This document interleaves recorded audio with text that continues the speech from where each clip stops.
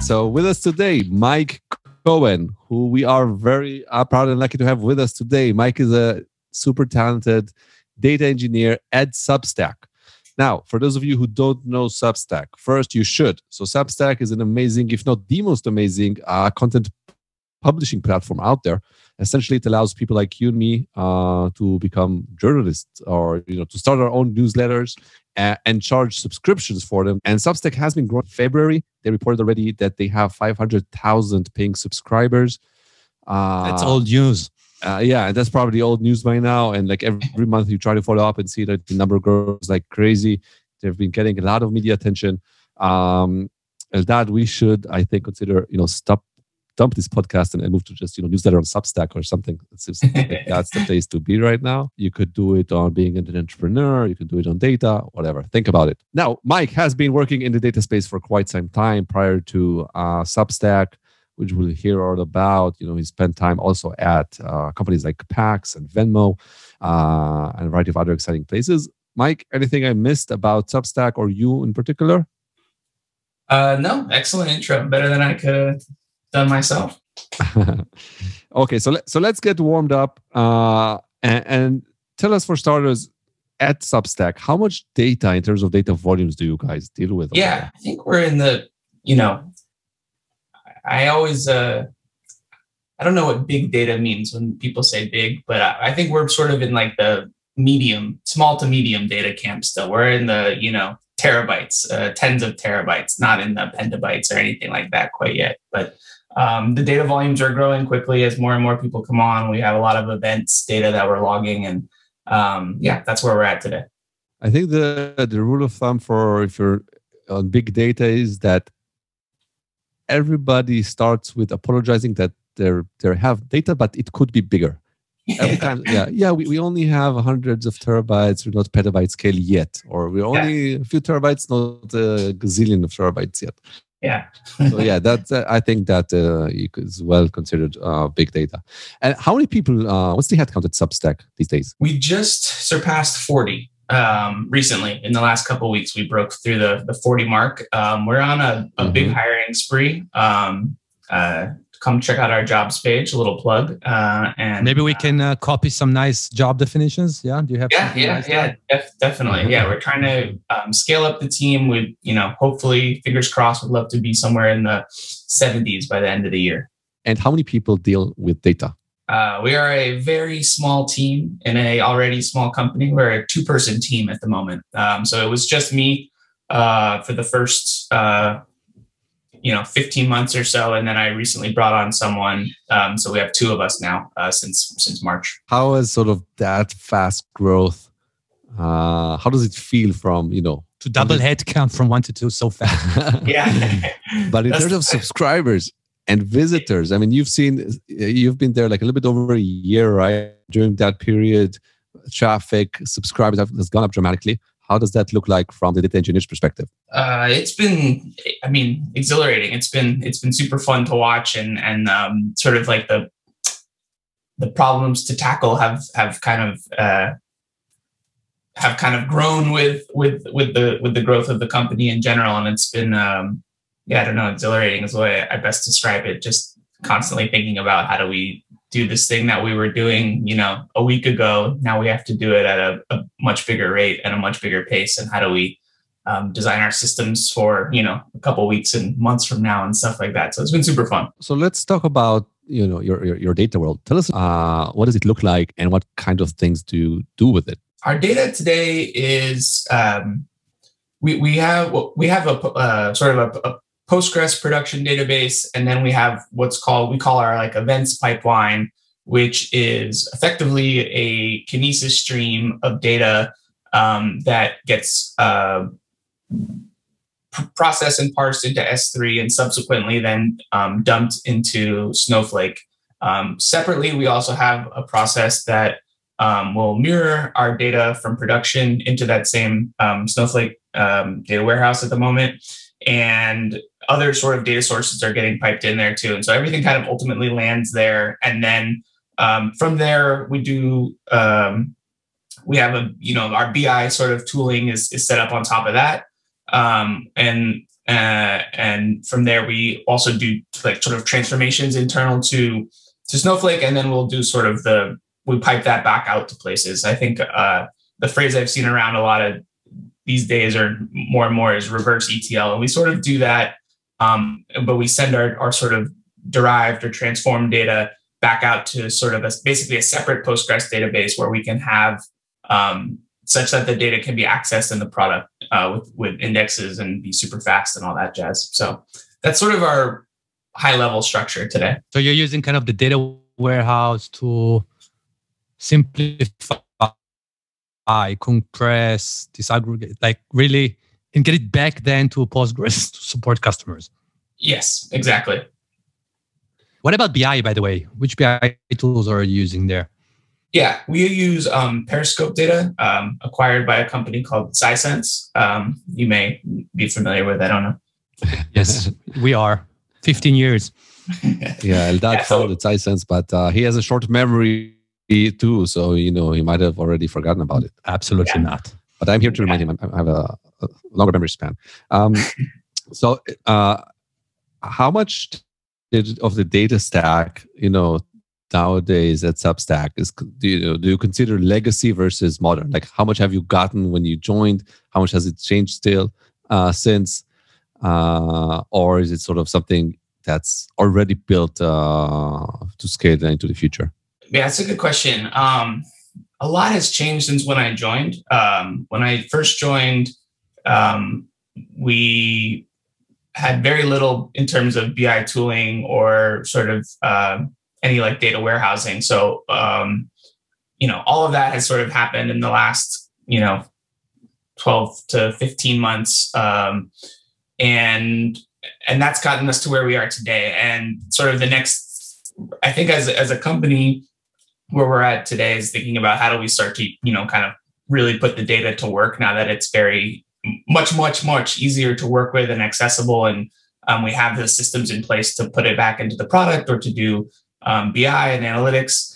And then I think then sort of after that, there'll be the next chapter of, uh, well, what, then what do we do next? How do we keep it, you know, how do we build towards more real time? How do we build towards faster insights? And, um, you know, unfortunately as a small team we're sort of we have to take things in little chapters is how i kind of think of it. And then that's the so i think we're on chapter two um, and then chapter three will be sort of like how do we how do we ramp this up even faster and do do even more? And for the audiences sort of you know uh, working on uh, with the bi tools with periscope? Is it specific departments? Is it cross departmental who's driving the requirements for for bi it's a mixture of of sort of data explorator data exploration work, which you know will be sort of either product or even data team driven, and then um, we also have um, sort of you know other internal teams, whether it's our support team or what we call our partnerships team, um, and they have you know data questions and sort of as a data team, we will help them answer those questions by giving them you know reports and whatnot that they can uh, monitor in in in Periscope. So, how much of a bottleneck do you end up becoming? Sounds like you have a lot of supporting to do out there.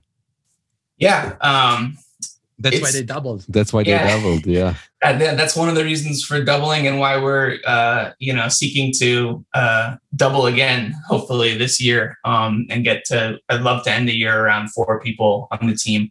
Um, and so, yeah, um, yeah, it, it's it's definitely um, it's definitely a factor, and I would say only only somewhat recently did our sort of team chemistry. We, we used to be more technical users than non-technical users. In other words, more SQL users than non-SQL users. And only very recently in our sort of our growth has started to has, has sort of shifted that equation where now we have sort of more non-technical, non-SQL users. And um, and so that bottleneck has has started to become more uh, apparent than it once was, I would say. What's the what does your morning routine look like? Which tool do you open or sort of never open the most every day to see to check check in on things? That's a good question. Uh, um, let's see. Uh, Slack. Make sure there's nothing uh, in, in, the data channel that someone has reported or asked about. Um, and then I, I go. I have about six Periscope dashboards um, that I look at sort of in order uh, every single day that are basically pinned uh, in one of my Chrome browsers, and I go through those. Um, they're sort of high level company stuff, um, support uh, Q2. Right now, we're in Q2, the Q2 goals, um, and then I have a spam publication detection dashboard where I look for any uh, bad actors and uh, try to handle that too. Bad actors. How, by the way, that's an interesting use case. How do you find the bad actors and, and the spam publications? Well, I can't, that'll give away my fraud rules and everyone will know how to beat them. good point. Good point. Uh, I was just testing you, but. Uh, okay, let's do uh, what we call a, a, a lightning round. okay. Of small blitz questions. So don't overthink. Give us your, you know, shoot straight. Let's see what, what you come up with. Are you ready? Yes. Commercial or open source? Commercial. Batch or streaming? Streaming. Write your own SQL or use a drag and drop Viz tool? Write my own. Work from home or from the office? uh, that one is hard. Uh, both. You can have you can have both. yeah, I- I think I want three days at home, two days in the office. yeah, I mean, it's Exactly. the hybrid model rules now. So, you know, it's a legit to say both. Uh, AWS, GCP, or Azure? uh, You need to pick one here, so you can't pick one. Okay. To DBT or not to DBT? Um, controversial, not to DBT. To Delta Lake or not to Delta Lake? Um, not to Delta Lake. Uh, not to DBT, I think, is the first time we had somebody Yes. say no. This is the first time. Let's talk about know, that a little bit. Probably I a know, mistake. You're probably mistaken. You probably got that answer I- I wrong. No, if- All, all your listeners just turn. All your listeners just turn this episode off. we'll put it in the trailer. So, so yeah, do elaborate on that a little bit. So, what's your take on DBT and, and why not? Which is uh, no, it's Big it's- no. It was a big no. That's why. it's not it's not i don't have that strong of a no opinion but i just haven't um i haven't used it myself in the sense of the I, I've, I've used it but I, I have another sort of system that we that i kind of put together that does similar behavior um and i, I think allows like a little bit more uh control and ultimately you know with dbt my understanding at least is you still have to have something that schedules and orchestrates the jobs and so i've just kind of created a system that um, does a lot of that. I don't want to say it's anywhere near as sort of comprehensive as DBT, but does a lot of that, and it's all just based in Airflow, so Python based. how much, uh, you know, you, you said you guys are on Snowflake. How much processing do you guys do ELT um, exclusively in Snowflake? Or do you do a lot of processing also outside of Snowflake prior to ingesting into Snowflake? Uh, no, almost no, 100% of the processing is happening in Snowflake. Have you ever considered using Spark to do that, or just started clean sheet, just use Snowflake? Uh, no need Yeah. to migrate anything. that that was sort of my thought. Yeah, it was clean sheet, start from scratch, um, and we'll see when we need to, you know, go kind of bigger than, you know, quote unquote bigger than Snowflake can handle. I'm sure they don't want to hear that, but there's I'm sure there's a point where you know using something like Spark in a more distributed fashion where you can have a lot more control might make a lot of sense. But we're not there yet, at least. So, if you know, looking at your pie chart of time spent on which topics, like how much do, time do you spend supporting the BI users and the BI tools versus supporting the warehouse versus supporting the, the pipeline uh, and so forth? Yeah, not to cop out on the question, but I, I I'm pretty evenly split, I would say, at the moment. Um, and there's like another chunk which is sort of administrative, so you know, trying to work on hiring and and and and building the team out so that I can kind of do be be more places um, all the time. Yeah, but So you know, basically, like most high growth startups, you 70% of your time goes on hiring, and then the 30% that's left goes on on on on real stuff, which is great. yeah, yeah, I- would say I'm, I'm maybe like 35% hiring, yeah, 35% uh, support of different people or functions and meetings and whatnot, and then the remaining 30% is is is split evenly uh, uh, between sort of either data engineering work or just my own data analytics work. Always hiring is also always a good excuse because you know if people if you you know you tell people I, am sorry you know, it will be fixed the moment we hire another person, so I'm actively hiring. so it's it's not your fault essentially. Um, okay, now. but, Boss so, loves hiring. He discovered hiring a few months yeah, ago. You know, and that always, you know, comes complaining, why didn't you do this? Why didn't you do that? And I tell him, I'm hiring for it. Happy. Um, okay, so tell us about uh, an awesome win uh, at Substack. I, w- I would say I, I, sort of you know maybe glossed over it before, but um, the tools that we have in place now to do we're not in the sort of i mentioned sort of before we want to get to a place where it's more real-time analytics and more real-time insights in the product but right now it's we're living in a batch world where our sort of definition of real time is really every 20 minutes we're kind of updating data in place. Um, but I'm, I'm pretty proud of the system that we have and that's that's doing that. We're running a bunch of interesting complex queries uh, that create you know meaningful tables that are um, you know denormalized and great for analytics but also great for serving up things in the product um, and then the, the way we're piping that back to, to postgres with indexes in a way that is uh, efficient and um, you know scalable is is is pretty neat and i'm i'm i'm happy with that system that we have in place connecting data back to the product and have and feeding the product experience with data is, is huge, huge, huge. And you're right, it is super satisfying to get there.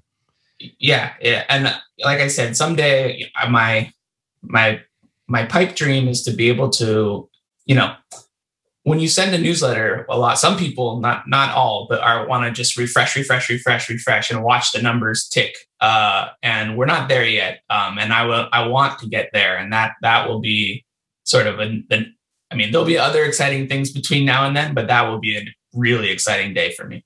Now, enough with the, you know, with the self gratification and then the win stories. Tell us about yeah. an epic failure. okay.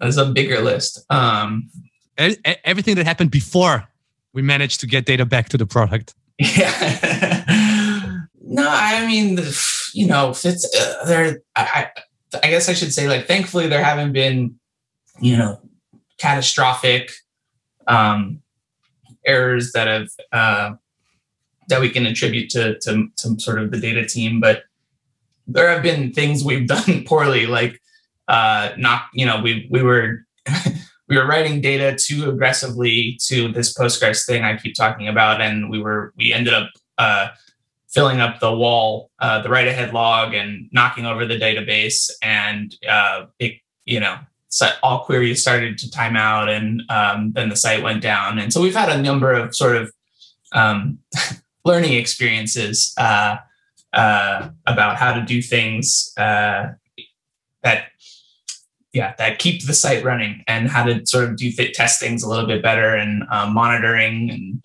um, putting metrics on on you know using some of our, our our, our metrics and monitoring tools like Honeycomb um, to to have a sense when things might go be going wrong and try to prevent that from from happening in the first place. So yeah, there's been a lot of uh, small disasters, no nothing too catastrophic yet yet. And then I, the keyword is yet because I'm sure that it's coming. What's the top challenge for you know for data engineering team now uh, or data team in general at Substack? So one of the things that I personally have an aversion to is um, well, I, or I, I, prefer to keep the surface areas small. So um, in many organizations, you know, there might be a data warehouse or something like that, and then data is sort of sent back out to a lot of different other services. Um, and uh, I'm trying to right now, you know, at least for as long as possible, I can shape the decisions, not send it out to too many places because um, my fear is that ends up leading to a situation where you have you know one person looking at something uh, in Google Sheets or in Excel or uh, you know in an Airtable or something like that, and saying, "Oh, I see this number here, but over in the BI tool, the number is different." Um, and you know, there's a lot of ways to try to like control for that, but one way I think to control for that is to try to, um, you know, centralize and keep things kind of in one location. And so, um, a thing I'm thinking about a lot recently is how do we make our data and our analytics more self-service and more self-service for um, for not not necessarily technical users. And so, how do we, you know, whether it's building canonical data sets that are easy to query and we kind of give everyone a little SQL lesson, or we build or we get some sort of tooling that um, you know doesn't require SQL knowledge at all. Um, how do we, I guess maybe a way to put it, how do we democratize the data access a bit more? Um, so I think about that a lot, and that's kind of I guess maybe more on the analytics side than mm-hmm. on the engineering side. But I think that they're very uh, they're two sides of the same coin, really. How much of your responsibilities on the analytics side as well? Um, all of building it. out company dashboards and stuff like that. All of it. Wow, wow. Um, what gets on your nerves the most in your daily work with data? Reconciling data from different uh, different data sources. So, for example, um, yesterday I spent a long time trying to reconcile data that we're seeing um, from a test that we're running in Optimizely with our own um, data events uh, logging. And yeah, it's hard. It's it's an example of what I was talking about just a moment ago, where you know, in a, a little bit, Optimizely is a bit of a black box, and so to try to reconstruct it is a bit of a. You want to be able to put trust in the tool, um, but to do so, sometimes you want you verify it yourself, and sometimes in verifying it yourself, you end up in a rabbit hole. and so, yeah, that that that can be kind of frustrating, uh, but it's important. Yeah, I, I feel you. Uh, some yeah, it's important. It's frustrating. Yeah, for sure. Um, okay, so we're close to reaching the end. We want to maybe get your advice uh, on which companies or leaders or people to follow that inspire you or that you find interesting on, online?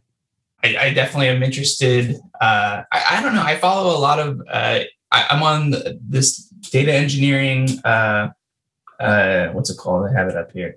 Data engineering week. Data engineering weekly um, is a cool uh, newsletter, uh, mm-hmm. Substack newsletter. Uh, Tristan Handy has a great newsletter, not Substack based, but mm-hmm. still a good newsletter.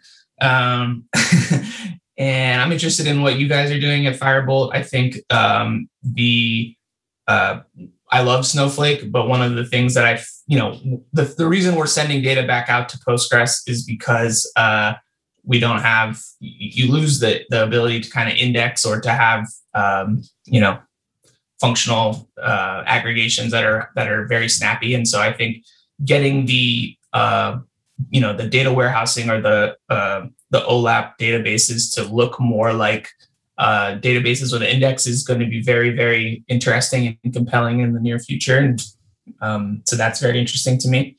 Um, what else? Yeah, those are those are sort of like the general sphere of things that I'm mostly interested in at the moment. Thank you so much. I think uh, this is it. Eldad, what do you think? Any I think his point, his interests are really, really kind of spot Ima- on. Spot imagine, on. imagine Mike is, is not here with us.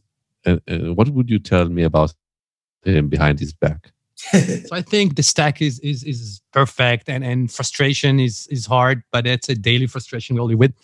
And uh, there's, I think, I think really, I think I, I wish you all the best. I wish you can scale fast. I wish you can hire a team that you love and, and, and can work with and, and accomplish meaningful things together. Always, always great to, to see you. And congrats on being you know, part of the success of Substack. So let's keep in touch and thank you everybody for hopping on this episode of the Data Engineering Show. See you soon. See you soon. Bye bye.